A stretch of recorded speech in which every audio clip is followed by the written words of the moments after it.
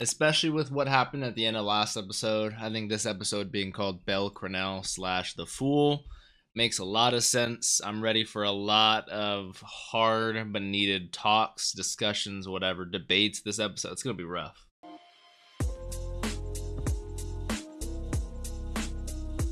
What's up, Dapper Squad? It's your boy Darius back at it again with Danmachi, Season 3, Episode 8, Bell Cranel, The Fool. We're getting close to the finale. Last episode, we had Wiene getting her will slash conscious jewel like almost ripped out of her, and so that she like evolved into the Vouivre ultimate form. Dix even put a curse on her, made her go to the, the to the um fucking to the to the surface. I don't know how I spaced on the word surface for so long there but Bell was chasing after Wiene, and then we have the rest of the our familia, Welf, uh, Makoto, uh, Hestia, and Haruhime, and then we also have the Loki familia who ended up attacking Wiene because she's on the surface, kind of attacking Bell. Bell is standing in front. I just, it's just not a pretty situation, and we all know it's not going to end well. From at least I don't think so. I don't know. You guys have already seen it. I don't know. But remember, if you guys want early access, full length of this show, all the other shows I'm watching, we are four episodes ahead. Check out that Patreon down below. Always open to you guys. Don't forget to follow or subscribe if you guys currently are not. Join the Dapper Squad, always welcome. Click that bell so you guys always know when I post. Always appreciated. Don't forget to follow me on all my social medias Instagram, Twitter, and Twitch at Dapper Darius. Let's hop right on into this. Uh, Danmachi, Season 3, Episode 8, Bell Cranel, The Fool is uh, I was gonna say where's Dix's homie with a spear? This would be such justice. I was hoping he wouldn't get away and he would somehow die. This would be such justice for this monster. But isn't he a Xenos too? Why hasn't he said a word this whole time? Some Xenos can't talk, so they've already established that. Yeah, what he turns around all confident. What's up? What's up, big boy?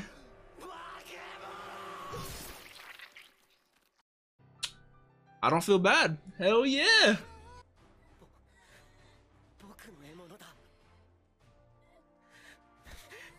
Smart.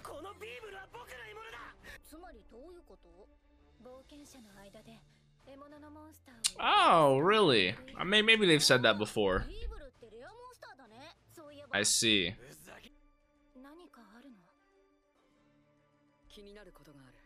Finn's one of those characters, those anime characters who get instincts, has like a little hunch. Some, something's not up. I love those characters.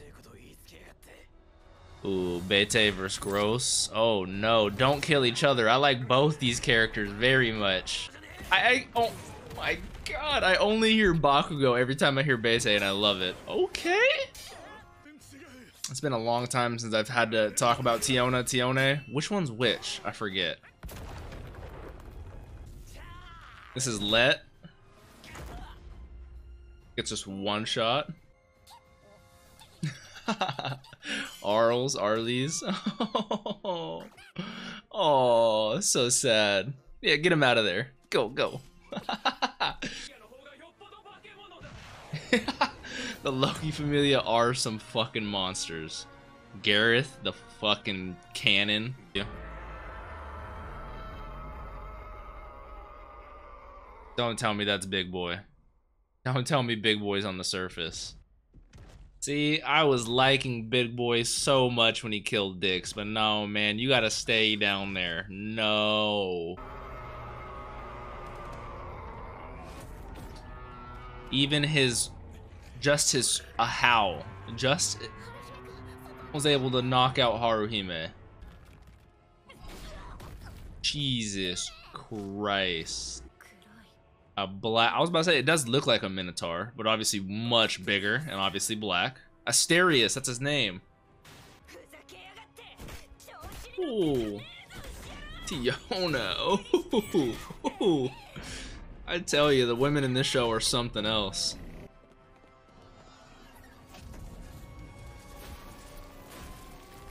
It not only is dual wielding axes, but it has a magic sword. I was gonna say a lightning axe.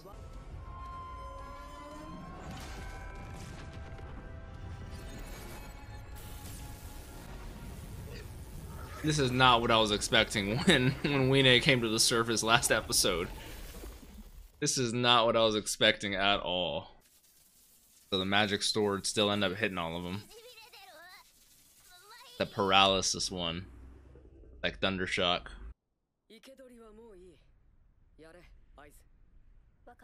And in the big guns. Oh, I love how quiet it is. Just the wind. It's so graceful. With her wind magic and everything, too. Tempest. Ooh, I was just about to say it. Oh my god.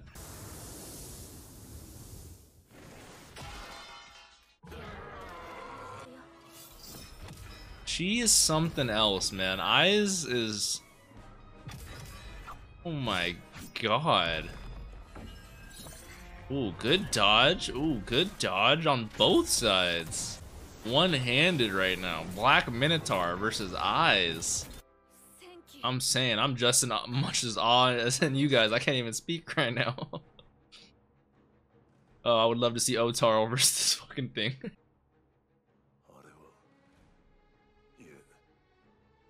There's no way this is not this is the one Otaro trained, fought Bell, and then revived as a Xenos. That would make so much sense how it became a Xenos, but it still can't talk like that, you know? It's just a bloodthirsty, strong fucking Minotaur beast. Yeah, and it is very evenly matched with Ais, even one-handed. With the horn?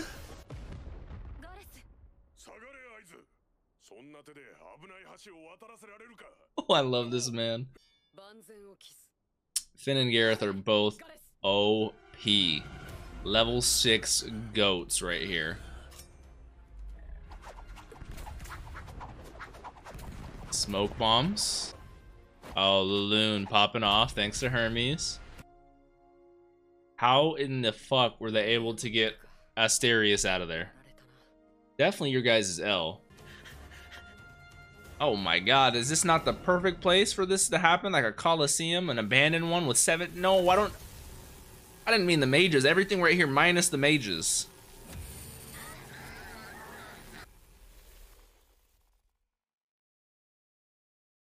Damn, they like eradicate. Her wings are like shredded.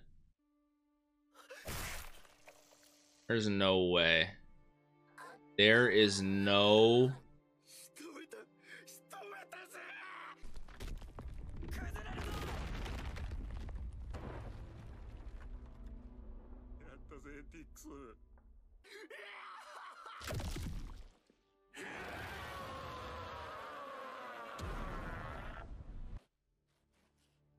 especially with that spear too. It's like impossible to be healed. No magic potion, no anything is gonna be able to heal that wound. Maybe she can be reborn again with. Oh no! Even the magic stone is breaking.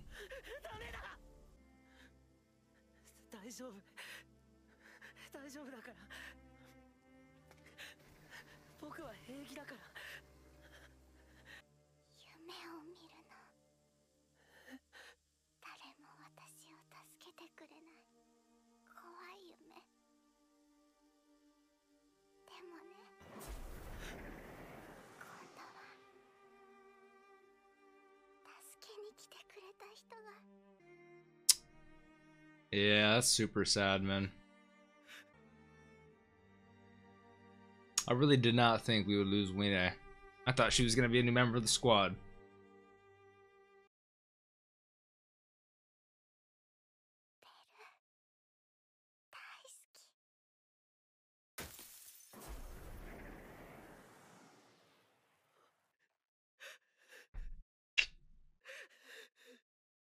R.I.P. Wiene, man.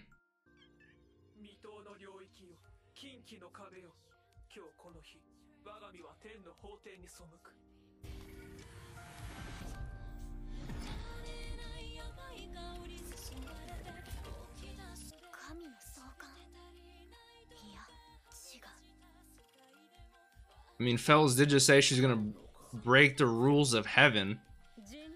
Magic which transcends human knowledge.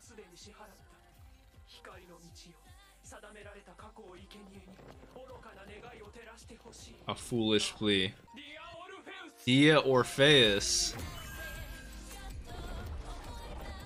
Bro, imagine how strong you'd have to be as a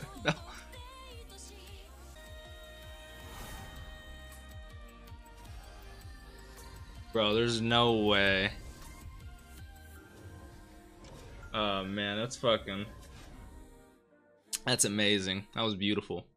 With the music and the color, everything. Oh, heartbeat and everything. I don't know how Fels is so legendary.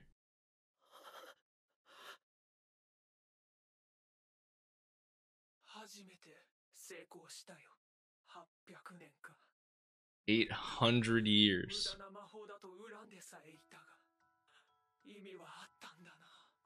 Fool Fels the fool is not a fool, you know, like it all meant it all eventually down the line it worked, you know? Did a great great good in the world. Oh Alright, I had to go blow my nose, but we got an after credit scene.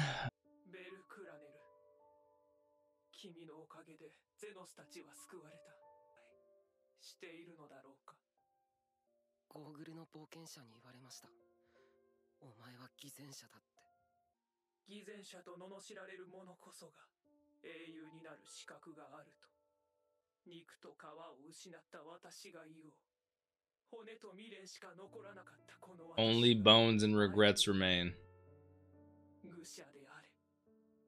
From one fool to another, I like that. It's extraordinarily foolish, precious and irreplaceable. That's a really good definition for it. I like it. I think one of people's, and myself included, biggest fears in life is like living your entire life and having, you know, such regrets. That's why they always say, you know, don't regret what you do, move past it, learn from it, stuff like that. It's so hard to not regret some of the decisions you made, though. Everyone has that ideology, you know, if I could go back and change something, I would. But, you know, it's like, would that lead to the person you are today?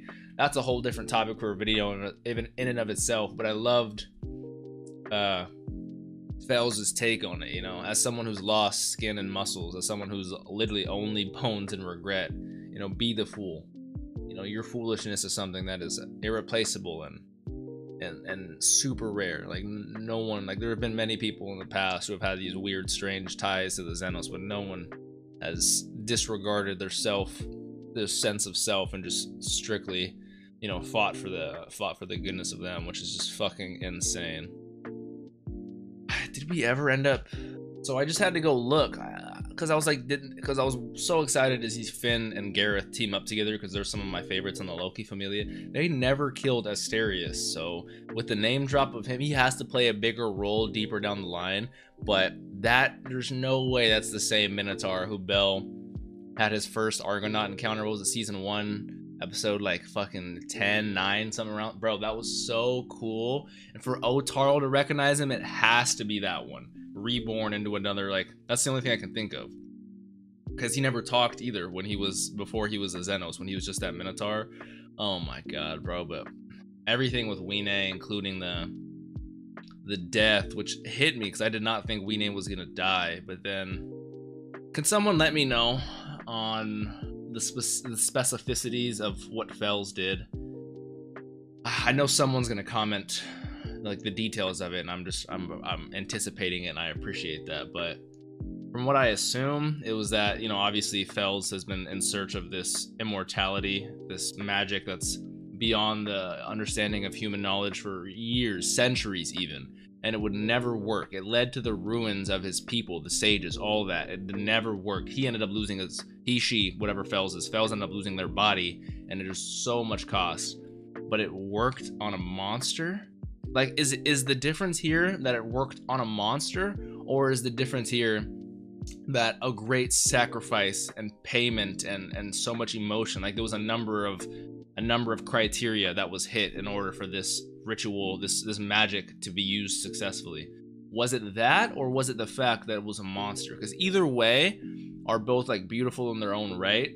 Because if you have been studying for this magic for hundreds and hundreds of years to make humans immortal and for them to just, you know, whatever, whatever, and it just does not work ever, but it works on a monster, then that clearly is gonna impact our our our tie not only ties but our beliefs our, our these walls around us where our beliefs are these monsters are these just in unsentient just completely violent you know unemotional beings but yet somehow this magic that is that is just beyond. It's like it's it's so much deeper than it actually is. You know, it's kind of like Attack on Titan with me. Like, oh my, no spoilers if you haven't seen Attack on Titan. Go watch fucking Attack on Titan. But if you don't know what the Titans are, it's just gets it's just unlocks a whole new world of deepness once you once you know. You know, it's just like like once these once you figure out what these monsters are and the actual you know some some of the things that they it's just I can't even fucking comprehend it. It's fucking crazy. But I love this episode oh so much. This episode, the fights, the fucking beautifulness, the the love, the compassion. It was all there. This was an S tier episode for sure. Thank you guys so much for watching. You know, leave a like if you enjoyed.